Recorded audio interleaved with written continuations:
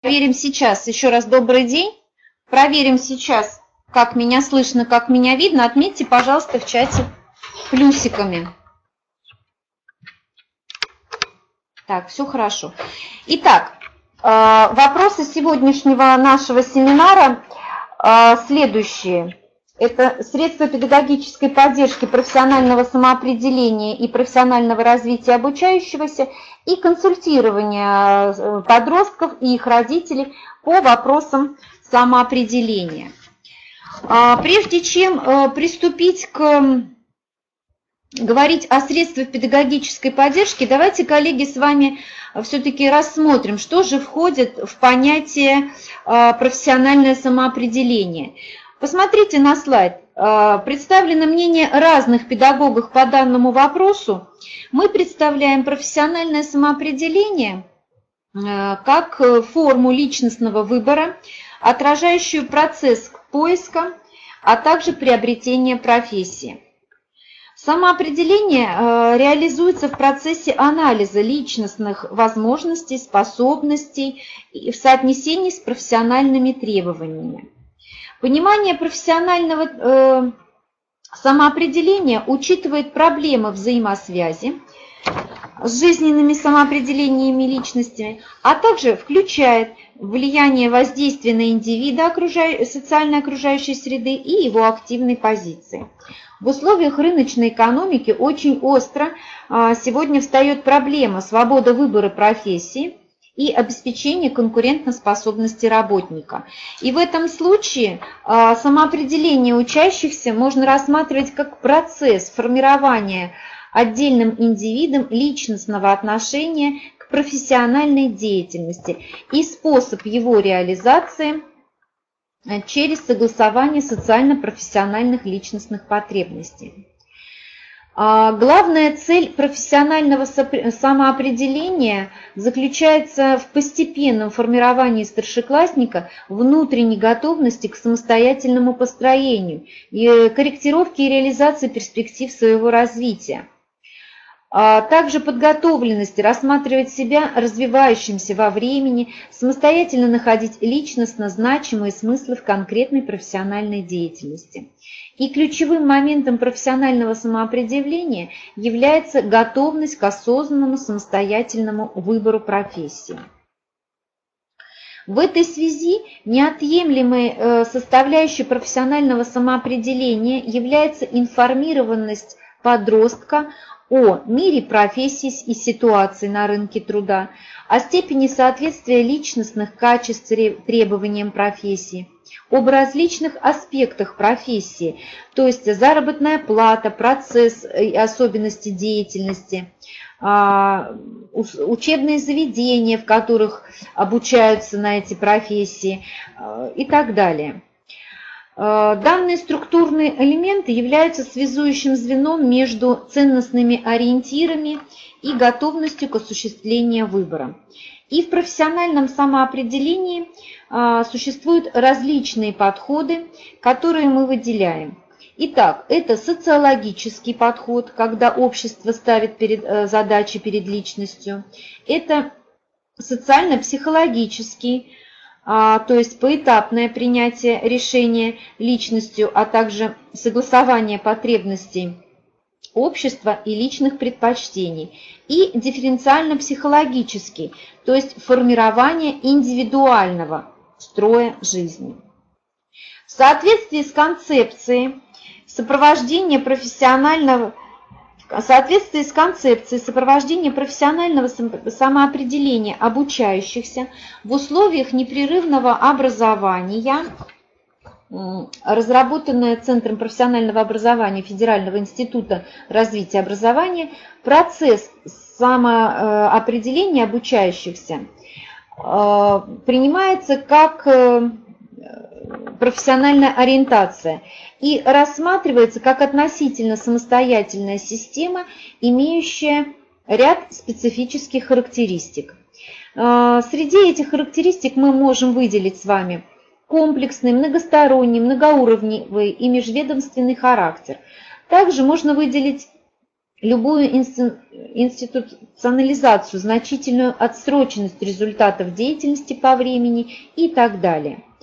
В профессиональном самоопределении подростков значительную роль отводят и семье, а также государственным общественным структурам, различным профессионально-образовательным организациям, общеобразовательным учебным заведениям, учреждениям доп. образования, службам занятости и другим. А, коллеги, следует отметить, что профессиональное самоопределение, оно не сводится к одномоментному выбору начинается задолго до э, самого события и продолжается и после него, ну, по мере, по мере дальнейшего обучения и освоения профессии.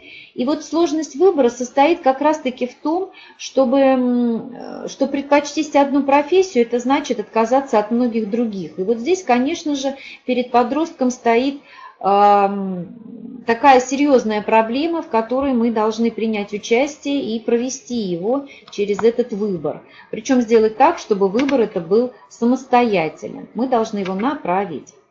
Итак, можно выделить четыре статуса профессиональной идентичности а, так называемые четыре ступеньки, на которых человек находится в процессе самоопределения. Неопределенная профессиональная идентичность – это на этой стадии выбор жизненного пути еще не сделан, четкие представления о карьере отсутствуют, и э, человек даже не ставит перед собой задачу э, профвыбора.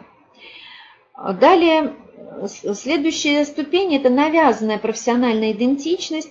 А, человек имеет сформированное представление о своем профессиональном будущем, но они связаны не с собственным выбором, а с каким-то навязыванием извне, ну, например, родителями, друзьями и так далее. А, здесь главное то, что да, это не является самостоятельным выбором. Следующая ступень – мораторий профессиональной идентичности, или, как мы его еще можем назвать, это кризис выбора. А, здесь человек осознает, конечно же, проблему выбора, но при этом находится в процессе ее решения, и наиболее подходящий вариант еще не определен. И самая высшая ступень – это сформированная профессиональная идентичность, сформированная.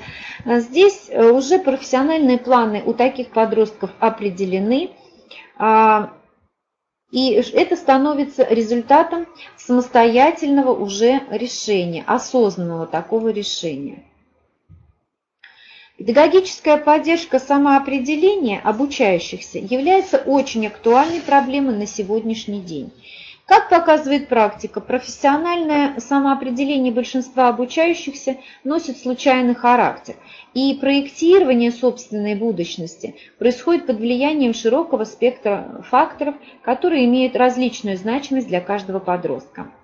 Кроме того, можно наблюдать несогласованность между профессиональными намерениями и направленностью интересов, выбором профессии при поступлении в учебное заведение. Коллеги, посмотрите, пожалуйста, на слайд. Здесь приведены результаты анкетирования, которое прошло в Камышинском политехническом колледже э, среди студентов первого курса. Итак, круговая диаграмма, мы ее все видим. Данные этой диаграммы э, не очень, так сказать, нас радуют. Эм, 23% была полная уверенность в профессии, 27% при выборе, на выбор профессии повлияли родители, это самый больший процент, 15% выбор профессии связан с профессиями родителями, то есть тоже так или иначе задействованы родители. У 10% в выборе профессии сыграли друзья, знакомые или э, повлияла территориальная близость учебного учреждения, чтобы далеко не ходить, так называемое. И э, у 10% также произошел выбор под влиянием э, ряда случайных факторов. Небольшая доля респондентов на их выбор повлияла средства, повлияли средства массовой информации. И вот э, такой, конечно, э, эти результаты, конечно, свидетельствуют о том, что так или иначе надо очень, э, так или иначе мы должны работать и с родителями, то есть направлять свои усилия по профориентации, по профессиональному самоопределению подростков, не только беседуя со школьниками ведя с ними работу, да, но и с их родителями. Э, также случайность самоопределения большинства подростков подтверждают и вот внизу диаграмма результаты органов статистики. Они свидетельствуют о том, что 25% обучающихся среднего профессионального образования прерывают учебу так и не дойдя до диплома. 80% дипломников со средним профессиональным образованием они работают не по специальности, которые они получили, не по той профессии. И 42% изменяют свои профессии либо специальности в первые же два года после окончания учебного заведения. Таким образом, конечно же, необходимо организовать и осуществить педагогическую поддержку профессионального самоопределения а, подростков, которая должна быть нацелена на реализацию сознательного выбора профессии. А, на слайде представлены определение или э, понимание трактовки педагогической поддержки различных авторов. Так, по мнению Газмана, педагогическая поддержка – это особая сфера педагогической деятельности, превентивная и оперативная помощь в развитии и содействии саморазвитию личности, которая направлена на решение его индивидуальных проблем, связанных со здоровьем, продвижением в обучении, коммуникации и жизненном самоопределении. К этой, к этой трактовке мы попозже еще обратимся, потому что, эм, согласно Газману, э, мы должны оказать педагогическую поддержку именно в преодолении трудностей школьникам которые, или подросткам, которые у них возникают при выборе профессии. А Крылова подчеркивает, что педагогическая поддержка – это педагогический метод или особая практика педагога, которая отличается от э, традиционных методов обучения и воспитания тем, что осуществляется в процессе его диалога и взаимодействия. По ее мнению, педагогическая поддержка должна быть предполагать самоопределение личности и в ситуации выбора. И также а, предполагает деятельность педагога, которая возможна только при наличии у него последней э, гуманистической позиции. Э, можно сделать вывод о том, что педагогическая поддержка реализует потребность общества в построении такого образования – при котором каждый сможет освоить и овладеть механизмами самоопределения и самореализации. Таким образом, коллеги, мы приходим к выводу, что осознанный выбор – это одно из важнейших условий развития личности молодого человека, его самореализации в жизни, успешного построения его жизненной и профессиональной карьеры. А, педагогическая поддержка профессионального самоопределения обучающихся основывается на следующих принципах. Ну, во-первых, обучающий сам должен быть согласен на такую помощь. А мы, так сказать, наша деятельность должна быть направлена на то, чтобы он согласился с нашей помощью. А, далее, развитие личностных качеств обучающихся, способствующих профессиональному самоопределению – Признание права личности на выбор, на самостоятельный выбор сферы приложения своих сил и уровня собственных достижений. А, педагогическое сопровождение обучающихся на всех этапах. Конфиденциальность. Педагогическая поддержка личности, ориентированная на повышение готовности обучающихся к ситуации социального, профессионального э, самоопределения. Коллеги, согласны ли вы с данными принципами? Достаточно ли их, как вы думаете? Пожалуйста, отметьте в чате, если вы считаете, что, как, как, по вашему мнению, то, что я не указала. Мы потом обязательно вернемся к этому обсуждению. А сейчас посмотрите, пожалуйста, на слайде представлены этапы педагогической поддержки так как, мы их, так как трактуем их мы. Итак, эм, в качестве этапов педагогической поддержки можно выделить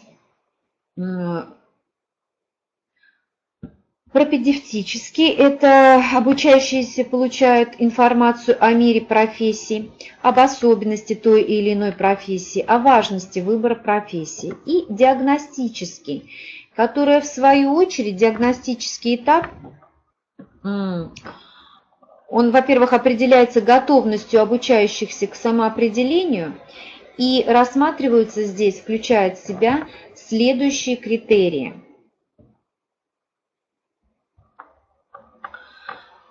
когнитивный критерий, то есть э, который говорит об устойчивых познавательных интересах, знании своих склонностей, способностей, знании о выбранной профессии, знание о своих способностях и э, важных качествах, знание предметной стороны выбираемой профессии. Мотивационно-ценностный критерий – а, показателями данного критерия являются мотивы личностного благополучия в результате выбранной профессии, переживание положительных эмоций а, и сознательное их возобновление при занятии выбранной деятельности, желание учиться выбранной профессии и тому подобное. И деятельностно-практический критерий, который включает наличие достаточно активных усилий профессиональной деятельности – а, характеризуется большой интенсивностью внимания, волевых усилий к преодолению трудностей в профессиональной деятельности, самостоятельностью и ответственностью, а также реализацией себя в будущем как профессионала. А, для определения готовности обучающихся к профессиональному самоопределению на этом этапе рекомендуется использовать методики карты интересов, а, которая, данная методика предназначена для изучения интересов и склонностей человека к различным сферам деятельности. Методика ориентирована в первую очередь на профориентацию, на профориентацию подростков, старшеклассников, но она может также использоваться и взрослыми. Суть заключается в том, что в зависимости от привлекательности содержания приведенных фраз, занятий и интересов следует выбрать один из четырех вариантов ответа. Ну, например, нам задается вопрос, интересна ли вам математика, и представляется а, четыре варианта ответа, которые мы выбираем. И так далее. А, также можно использовать ориентировочную анкету. Она предназначена для выявления ценностных ориентаций человека, направленных на себя, на взаимодействие и на выполнение задачи. А, в данном тесте имеются три шкалы, согласно которых выбираю, значит, высокие оценки по первой шкале обозначают, что деятельность направлена на удовлетворение собственных потребностей, а, то есть сформированность э, у человека мотивов на себя. Вторая шкала определяет, что деятельность субъекта направлена на взаимодействие, то есть удовлетворение коммуникативных потребностей. И третья шкала выявляет направление деятельности на достижение результата, то есть на задачу. А, также можно использовать дифференциально-диагностические опросники, мотивы выбора профессии и другие. И кроме того, можно также проводить анкетирование, организовывать беседы, диалоги по э, вопросам профессионального выбора. Перечисленные методики дают возможность определить а, обучающихся э, с низким, средним и высоким уровнем готовности к профессиональному самоопределению. В соответствии с возрастными категориями выделяют следующие этапы профессионального самоопределения. Итак, первый этап – это детская игра, в ходе которой ребенок примеряет на себя разные роли. Второй этап – это подростковые фантазии, когда подросток представляет себя в той или иной профессии. Третий этап Предварительный выбор профессии, когда виды деятельности сортируются в следующем порядке с точки зрения интересов, способностей и системы ценностей. И четвертый этап – это практическое принятие решения выбора профессии, которое в свою очередь зависит от трех объективных условий, то есть от социального положения и материального благосостояния семьи, уровня образования родителей, социального престижа профессии. Следует обратить внимание на то, а, что давая характеристику профессии или специальности, преподаватель должен осветить два направления. Это информационно-справочное описание профессии, то есть оно направлено на а, выделение экономических, технологических и медицинских, а также психологических характеристик профессиональной деятельности. А, знание которых необходимо учащемуся для более детального анализа и понимания специфики выбранной профессии. И функциональное описание включает нормативные характеристики профессионально важных качеств и медицинских противопоказаний к профессиональной деятельности. Кроме того, очень часто подростки путаются в определениях и не различают, то есть профессия, специальность, должность, для них это одинаково. Соответственно, мы должны мы, педагоги, должны, конечно же, э, просветить э, нашего подростка и в том числе по данным терминам. Итак, профессия – это вид трудовой деятельности человека, который обусловлен разделением труда и требует определенной подготовки. Он является источником дохода, она является, да? А специальность – это специализация или разновидность деятельности – в рамках одной профессии. И должность э, зачастую э, выполняет э, зачастую название должностей часто совпадает с названием профессии, и должность – это совокупность трудовых обязанностей, которые работник выполняет на определенном рабочем месте. А, конечно же, роль профориентационной работы является естественным продолжением всей педагогической работы с учащимся и в каком-то смысле является ее логическим завершением. И вот роль профориентационной работы, конечно же, э, очень огромная. И она, полноценная помощь школьнику в выборе профессии не только помогает ему организовать саму учебную деятельность, но и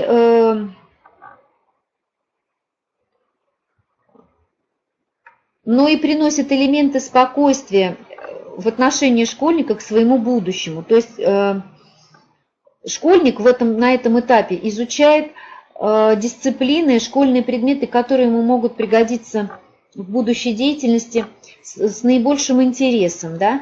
То есть, э, кроме того, и э, нарисована оптимистичная жизненная позиция для школьника, что будет способствовать его лучшему самоопределению. Э, профориентация предполагает широкий, выходящий за рамки педагогики и психологии комплекс мер по оказанию э, помощи в выборе профессии. Она может профориентационная работа может осуществляться как на уроке, причем на любых уроках, как на общеобразовательных дисциплинах, так и на профессиональных дисциплинах в школе, э, вернее в колледже или э, в школе. Э, важно, чтобы преподаватель смог провести взаимосвязь с какой-либо профессиональной деятельностью да, и изучаемой дисциплиной. И успех профориентационной работы на уроке во многом и будет зависеть как раз-таки вот от этого умения учителя связать э, профессиональный материал с программным материалом и сформировать ценностное отношение к тому или иному виду деятельности. Итак, профессиональное самоопределение это является уже завершающим этапом системы профориентации школьников. И в процессе его становления, в процессе профессионального становления школьника можно четко выделить три этапа. Они перед вами представлены на слайде, коллеги, обратите внимание. Это период до поступления в профессиональное учебное заведение, период обучения в профессиональном учебном заведении и начало трудовой деятельности. Первый период характеризуется профессиональной ориентацией в школе, участием в деятельности трудовых объединений школьников а, и характеризуется мотивированным выбором старшеклассников той или иной профессии. А, на втором этапе э, студенты овладевают, подростки овладевают теоретическими знаниями соответствующими, практическими умениями и навыками, предварительно уже обобщая и опробируя правильность своего выбора. И на этом этапе, для этого этапа характерно развитие профессиональных способностей. И третий этап характеризуется профессиональной адаптацией в период прохождения производственной практики, закреплением и развитием полученных знаний и умений уже э, навыков уже в процессе выполнения профессиональных задач. То есть э, для данного этапа э, характерно приобретение опыта работы по специальности и уже окончательное убеждение, утверждение своей избранной профессии. Так вот, работа по решению задач, стоящих на каждом из этих этапов, и составляет сущность процесса профессионального самоопределения. Коллеги, посмотрите на слайд. А, перед вами результаты социологического опроса, проведенного в начале текущего учебного года. Объектом исследования выступили учащиеся 10-11 классов общеобразовательных школ города Камышино. А, всего было опрошено 370 человек, порядка 370 человек. И вот результаты опроса свидетельствуют о том, что общее количество школьников, которые определились с выбором профессии, составляет 77% от общего числа респондентов.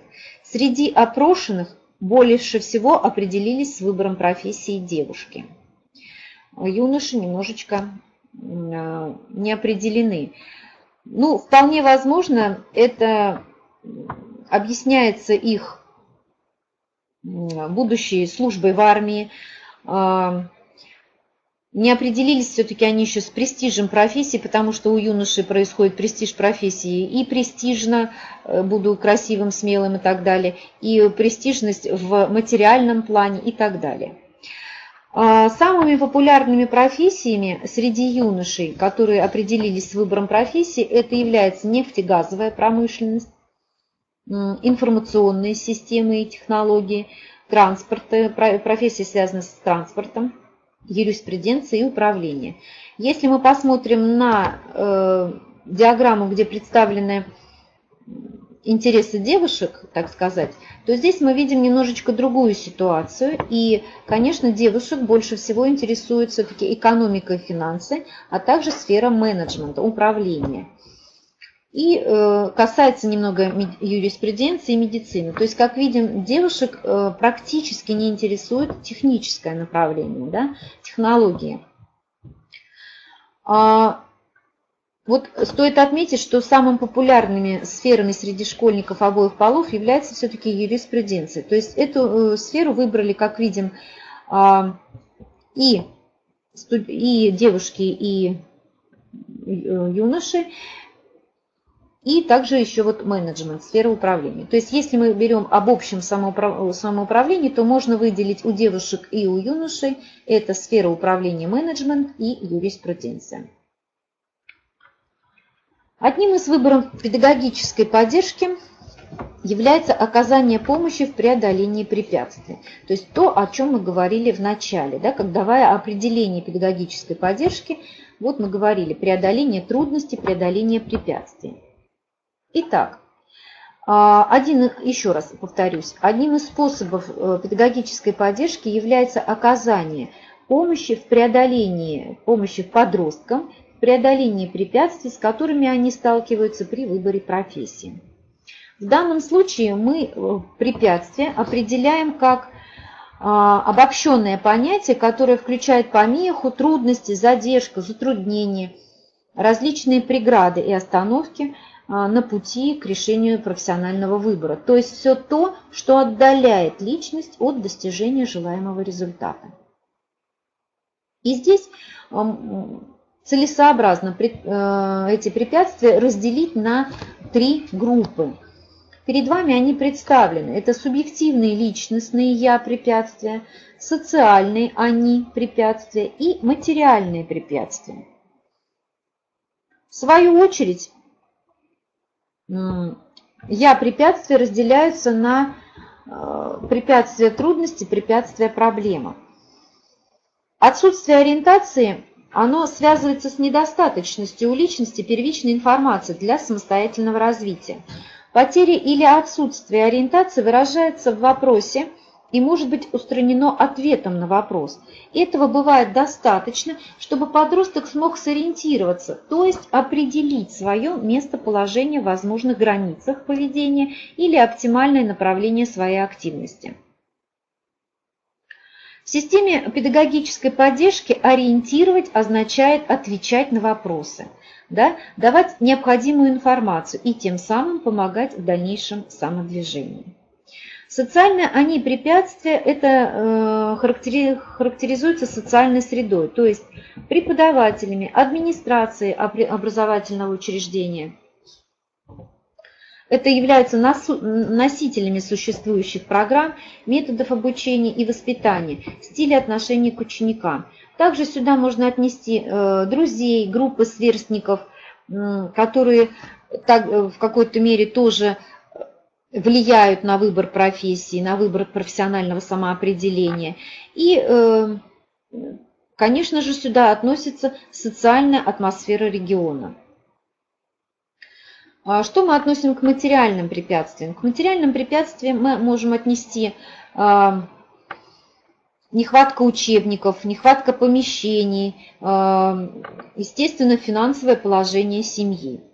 И вот эти перечисленные нами группы препятствий, прямо или косвенно, они расположены на пути развития процессов самореализации, профессионального самоопределения подростка. И вот работа с каждой из группы, с каждой группы таких препятствий, выступающих в качестве преподавательной, преподавательской помощи, должна быть. Это э, составляет специфические задачи педагогической помощи, педагогической поддержки.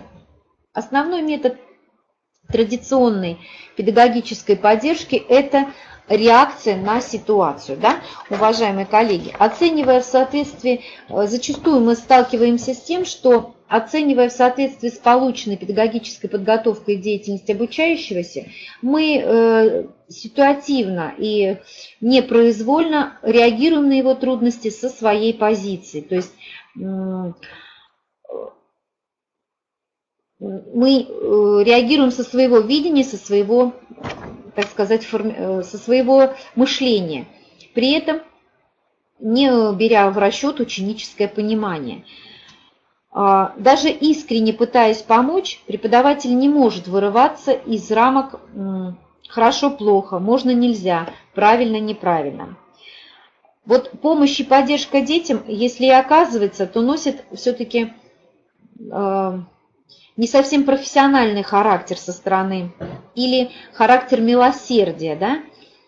И вот э, тогда в большинстве случаев преподаватель а, оказывает эту поддержку или помощь не из желания помочь именно, не из потребности помочь, а из того, чтобы а, ориентируясь на решение своих проблем, то есть чтобы побыстрее, так сказать, отвязался, не мешал э, подросток нам.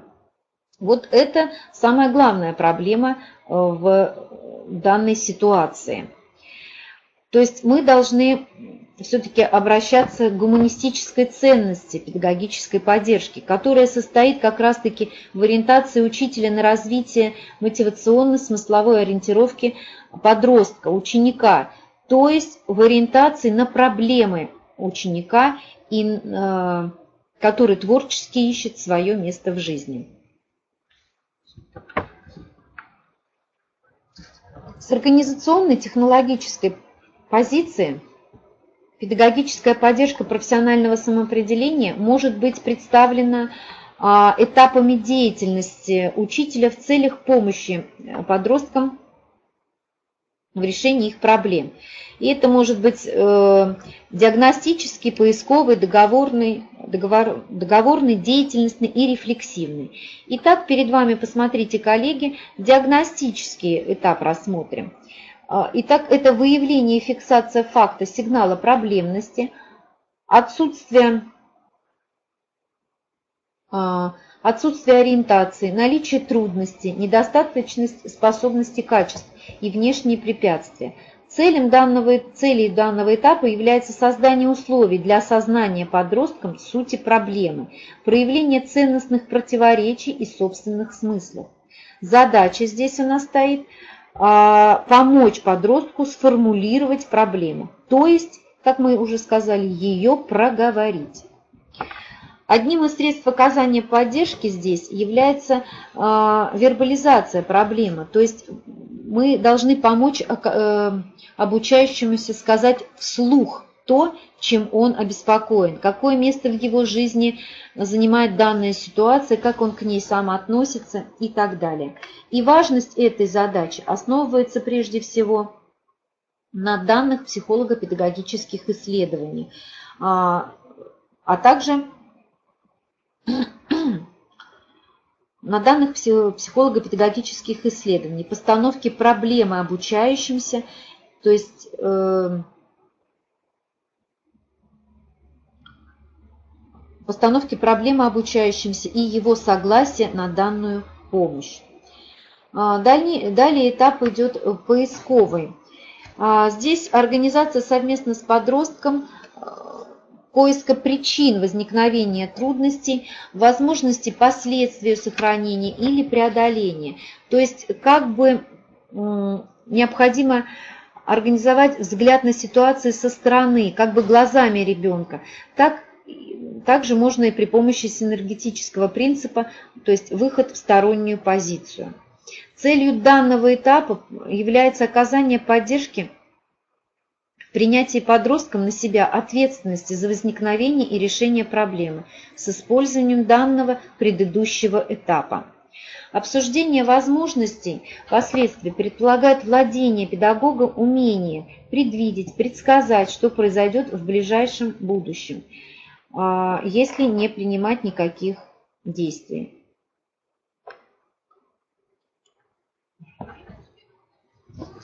Также можно выделить договорный этап и деятельностный этап.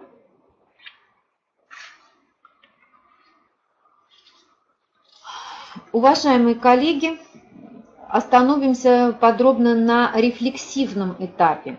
Это совместное обсуждение успехов и неудач предыдущих этапов деятельности, констатация фактов разрешимости или неразрешимости проблемы для ее переформулировки, осмысление обучающимся и педагогам новых вариантов самоопределения. Здесь важно помогать подростку замечать те изменения, которые происходят конкретно в нем самом и вокруг него. Рефлексивный этап может быть выделен самостоятельно, но может и пронизывать всю деятельность. Уважаемые коллеги, далее на слайде представлены э, примерные задания для старшеклассников, ориентированные на то, чтобы помочь подростку сформулировать свою проблему. Итак, педагогическое сопровождение – это процесс э, заинтересованного наблюдения, консультирования, личностного участия и поощрения максимальной самостоятельности подростка проблемной ситуации при минимальном участии педагога. А, педагогическое сопровождение подразумевает умение педагога быть рядом, следовать э, ненавязчиво быть рядом, следовать за обучающимся, сопутствуя его выбору и э, в его индивидуальном образовательном маршруте. Под педагогическим сопровождением мы понимаем э, создание внутренних условий личностного профессионального самоопределения и знакомства с миром профессии. А в дальнейшем перейдем э, теперь к методике э, консультирования старшеклассников по вопросам личностного и профессионального самоопределения. А, данное консультирование осуществляется с позиции возрастного психологического подхода в консультировании, где одной из важнейших характеристик является понятие задач развития. Развитие человека можно представить как преодоление зазора между актуальным и целевым состоянием. И эти зазоры возникают перед субъектом в тех отношениях, которые фиксируются под названием ситуации развития. Их как раз-таки и называют задачами развития. Итак, период старшего школьного возраста – это период самоопределения и социального, и личностного, и духовно-практического, и профессионального. Самоопределение – это основная задача данного возраста. В основе э, процесса самоопределения лежит выбор и будущей профессии, и личностного самоопределения. А, как мы видим, профессиональное самоопределение, оно сопряжено с задачами личностного сопределения, тесно связано с поиском ответов на вопросы «кем быть?», «каким быть?», определением жизненных перспектив и проектированием будущего.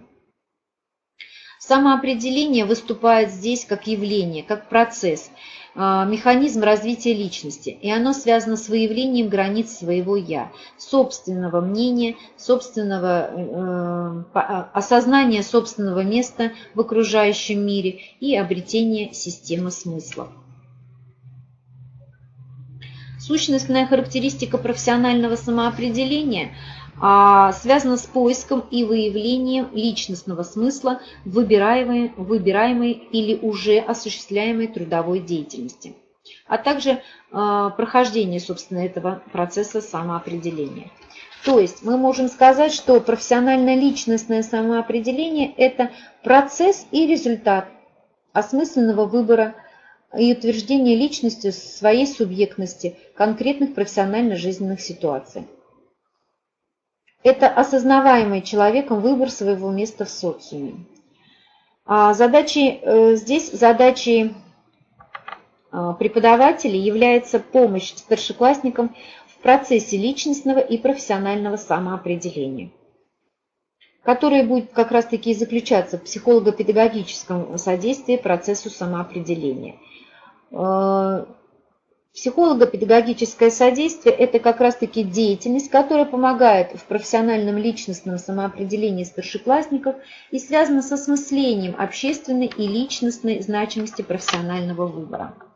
Данное содействие может осуществляться в двух формах – непосредственной и опосредственной. Ну, опосредственная помощь, она включает в себя диагностику, профориентационную помощь, то есть это игры, тренинги, личные достижения ученика и так далее. Непосредственная помощь, то есть это как раз-таки консультативная поддержка старшеклассников в процессе самоопределения. И в этом случае а, педагоги и психологи решают следующие задачи, то есть э, информационно-просветительские, диагностические, эмоциональную поддержку учащихся, оказание помощи в ситуации выбора и принятия э, решений. Консультативная поддержка заключается в том, что преподаватель вооружает подростка средствами для самостоятельного решения своих проблем. Конечно же, коллеги, наибольший интерес представляет, конечно, непосредственная помощь. А, оценка запроса и оснований выбора стратегии э, работы консультанта с позиции возрастного ориентированного подхода, здесь э, специфика такой работы связана прежде всего с применением системного анализа явлений детского развития, то есть с рассмотрением их в контексте э, социальной ситуации развития и различной иерархии видов деятельности психологических новообразований в сфере а, сознания ребенка.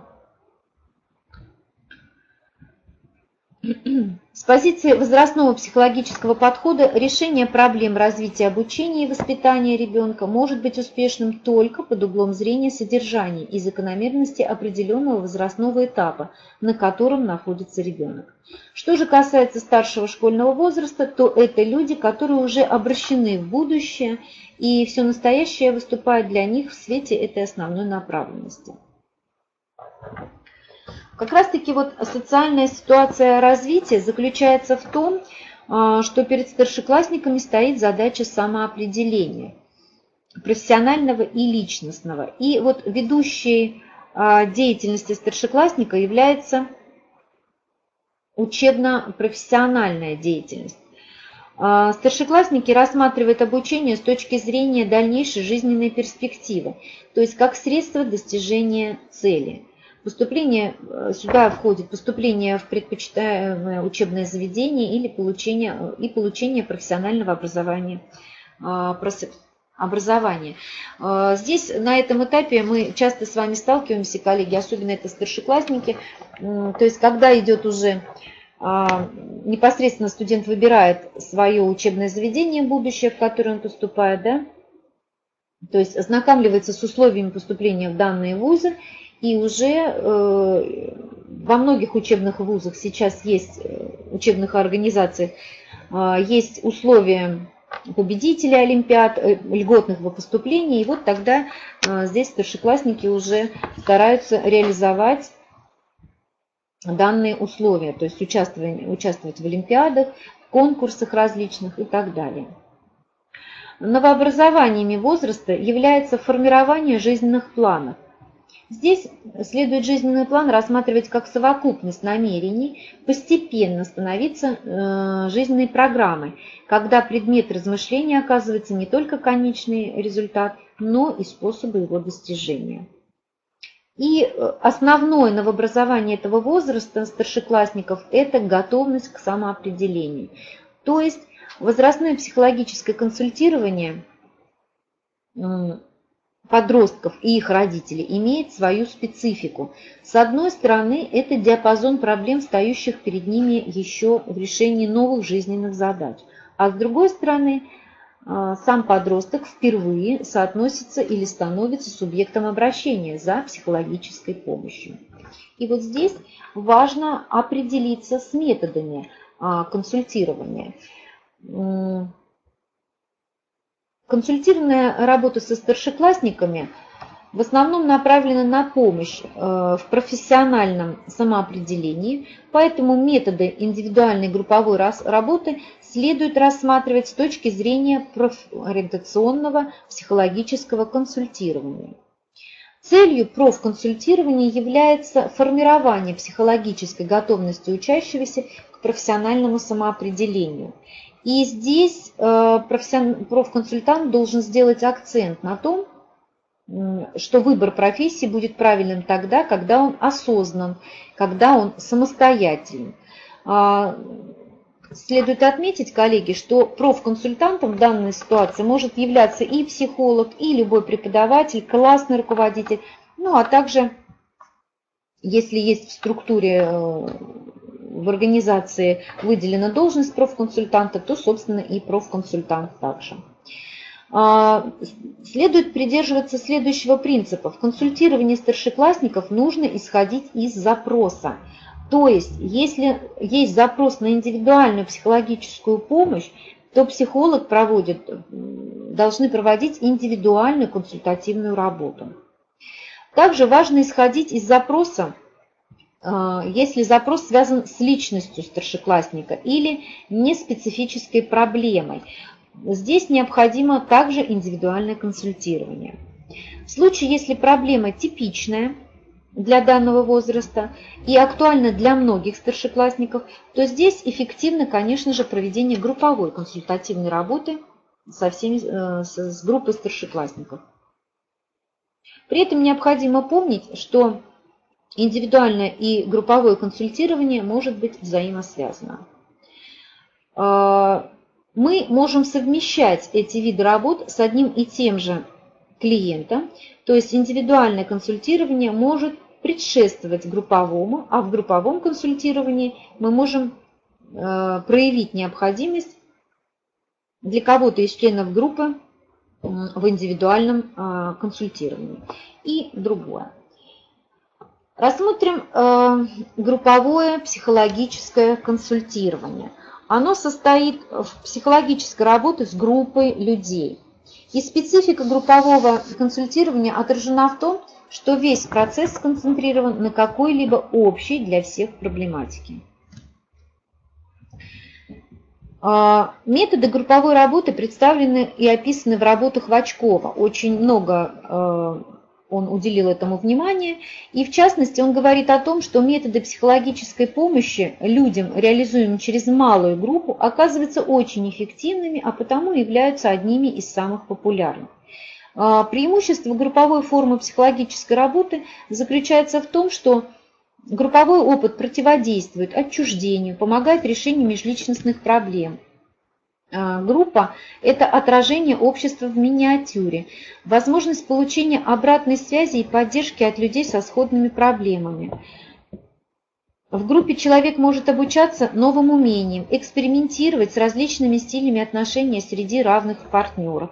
Кроме того, а, подросток получает возможность идентифицировать себя с другими или взаимодействовать в группе, которая помогает прояснить психологические проблемы каждого. А, также группа облегчает процессы самоисследований, самораскрытия и самопознания. Группы могут включать и учебный класс, если инициатором ведения является школа, другое учебное заведение. Также могут включать клиентов, которые э, проводится первичная консультация, но при этом диагностическая групповая консультация наиболее полно подходит для выполнения таких задач, как профессиональные планы клиентов и степень их сформированности, выявление уровня сформированности о профессии, изучение мотивационно-потребностной сферы и установление отдельных профессионально важных качеств. Специфика групповой диагностики в большинстве случаев исключает интерпретацию индивидуальных результатов и рекомендаций э, и предусматривает применение активных методов работы в группе. Здесь относятся имитационные, карточные, профориентационные игры, использование элементов тренинга и игровых подходов. Коллеги, на следующем слайде вам представлены а, специфика индивидуального психологического консультирования. Что можно здесь сказать? Ну, во-первых, это наиболее традиционная распространенная форма проведения психологической консультации. В основном она осуществляется психологом с глазу на глаз с клиентом в рамках индивидуальной личностного психологической ориентированной беседы. И задача консультанта здесь – помочь подростку оценить ближайшие жизненные планы с точки зрения целей и ожиданий, которые касаются не только профессиональной э, направленности, но и других сфер жизни. И вот в, процессу, в процессе такого консультирования э, психолог должен не учитывать представление клиента об уровне развития э, своих способностей. Профконсультирование следует проводить по четырем основным направлениям.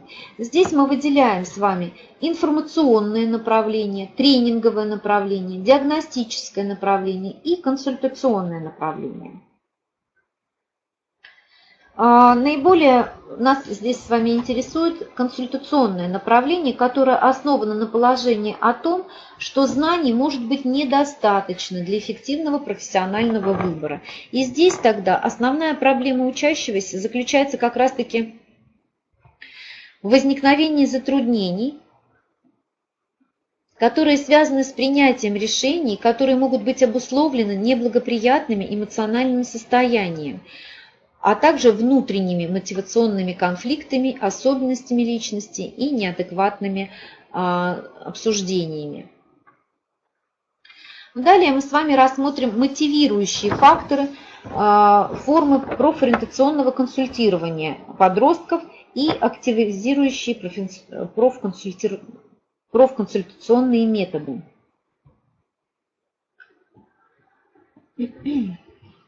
Итак, традиционно выделяемое в консультации «надо», то есть учет потребностей общества в выбираемой профессии, вызывает сомнения в том плане, что неизвестно, кто определяет это «надо», да, что такое «надо», и всегда ли оно вызвано объективными причинами. А, развитый субъект э, самоопределение должен самостоятельно определять, что является э, должным и сущностным как для собственного развития, так и для развития общества. Процесс активизации клиента требует особого участия в этом самого профконсультанта. И вот здесь, а, как субъект организации взаимодействия с клиентом, а, профконсультант должен сам выступать в роли субъекта. Главный вопрос как клиента объекта превратить в клиента субъекта. И если идти традиционным путем, то можно выделить следующие виды активизации. Это мотивационно-эмоциональная, познавательно-интеллектуальная и практика-поведенческая. Общая схема активизации представлена как эм, следующим образом. Сначала мы формируем интерес, да, и на основе эмоциональной активности, то есть интереса, уже формируется мотивационная готовность к решению конкретных профориентационных проблем. Формирование мотивации предполагает уточнение э, профконсультационных целей.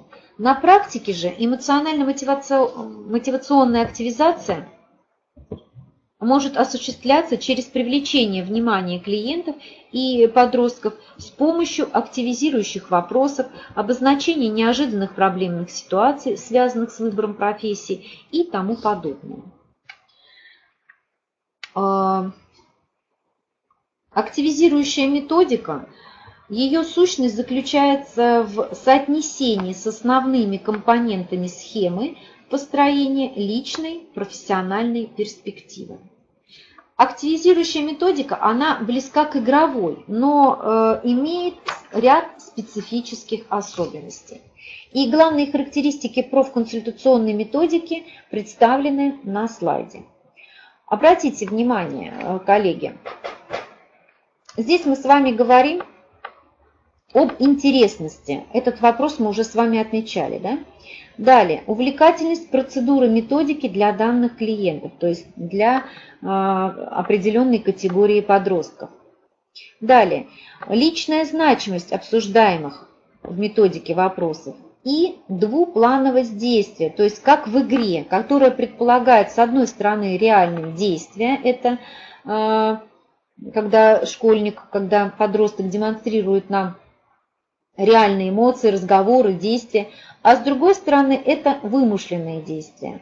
То есть активизирующая методика – это не просто интересная для подростка а, методика, но прежде всего это а, средство, вооружающее клиента побуждением для самостоятельных действий. А, примером таких методов могут быть карточные профконсультационные методики, которые, которые возникли как попытка использовать интригующую форму работы. А, сюда входит раскладывание пассиансов из карт, да, карточные игры. И вот высокоэффективные операционные э, возможности карточных технологий и содержательные моменты профессионального самоопределения и планирования а, жизни. Их главное достоинство – предметность поискового действия и возможность оперативного э, составления из карточек образцов межкультурных и моделируемых объектов. Итак, Профориентационные, профконсультационные карточки, методики, а, карточные методики мы можем разделить на две категории. Это информационно-поисковые системы и игровые карточные технологии. В индивидуальных информационно-поисковых системах по определенным правилам клиент составляет из карточек образцы своих э, профориентационных проблем и подбирает пути их решения, а также образы наиболее привлекательных профессий. В игровых карточных системах делается попытка смоделировать основные этапы человеческой жизни, а также основные этапы э, профессионализации человека. Важнейшим активизирующим приемом здесь э, данных этих методик является специально организуемый игровой спор консультируемого клиента с ответами, которые выписаны на карточках, а также определенные призы и наказания за успешность такого спора. И вот в ходе такого спора а, подросток, которого консультируют, конечно же, сам проговаривает связь тех или иных своих игровых возможностей достижения игры. А, в последнее время, коллеги, широкое распространение получили такая методика, как нарративный подход в консультировании старшеклассников при решении ими задач личностного и профессионального самоопределения. А, Под нейротивной практикой подразумевается подход к консультированию людей, ну и в частности наших подростков, да, а, которые рассматривают людей как экспертов своей собственной жизни и видят проблемы отдельно от людей. В основе этого подхода к консультированию лежит идея сотрудничества. Важный принцип здесь видение жизни человека как множество историй, которые человек рассказывает о себе или другие рассказывают о нем. То есть в данном случае консультант помогает выбрать из них предпочитаемые и развить эти истории, то есть воплотить их в своей жизни. Наиболее часто нарративная терапия в России а, применяется как система работы с семейными а, проблемами. Однако нарративные терапевты предлагают свою методику работы с проблемами карьеры. Нарративный подход в консультировании по проблемам э, карьеры направлен на поиск ответов на 7 вопросов и задач, которые в равной степени относятся и к клиенту, и к специалисту.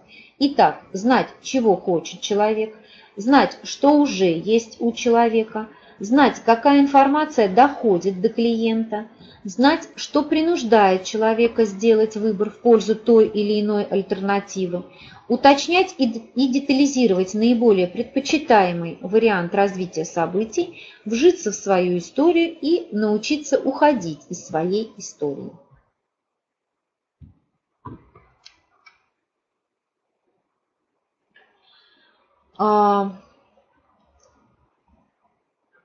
Таким образом, при разработке рекомендаций старшеклассникам, педагогам и их родителям по вопросам личностного и профессионального самоопределения важно помнить о том, что эти рекомендации должны носить э, рекомендательный все-таки характер, не сводиться к написанию и описанию конкретных действий и э, здесь надо обращать э, внимание на то, чтобы вот эти рекомендации рождались в ходе, в процессе консультативной работы. То есть сначала мы э, консультируемся, общаемся с, непосредственно с подростком и их родителями, и уже затем выносим свои рекомендации. И рекомендации для родителей, они могут быть в виде памяток, в виде А, различных там презентаций и так далее. И должны быть настроены с опорой на возрастную характеристику старшего школьного возраста. То есть учитывая и социальную э, ситуацию развития, и э, направление, да, и новое образование в данной сфере. Э, уважаемые коллеги, если есть ко мне какие-то вопросы, я попрошу задать их в чате касаемо профессионального консультирования а, школьников.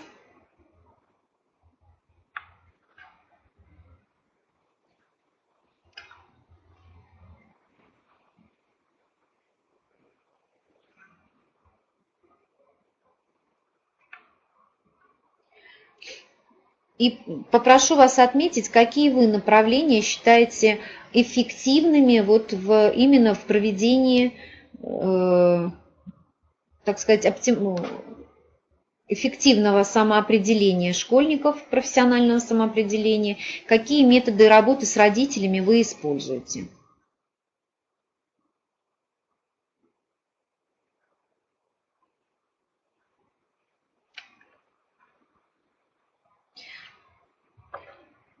Спасибо большое, коллеги.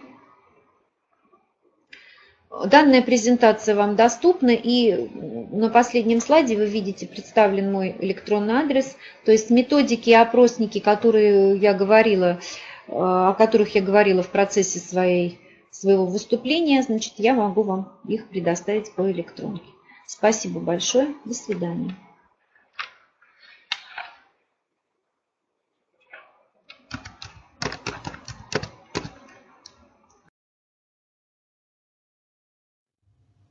Уважаемые коллеги, предлагаем вам информацию о дополнительных возможностях, которые предоставляет для вас Международная академия повышения квалификации и профессиональной переподготовки Академия Профобр. Подробно о них вы сможете узнать на сайте iafsu.ru. Вы сможете получить сертификат участника вебинара или конференции, вы можете посмотреть различные вебинары, вы можете принять участие в научно-практических конференциях, в том числе и прошедших, которые можно будет посмотреть в записи. Вы можете пройти э, различные программы профессиональной переподготовки, повышения квалификации или принять участие в конкурсах профессионального мастерства. Для того, чтобы получить сертификат участника вебинара, необходимо перейти на сайте на вкладку «Вебинары». Далее кликнуть на кнопку «Участие с сертификатом», заказать его. Сертификат придет вам в течение часа, если э, вебинар уже прошел. Если вебинар еще только предстоит, то сертификат придет на следующий день после его проведения. Сертификат вы получите PDF-файлом в электронном виде на свою электронную почту.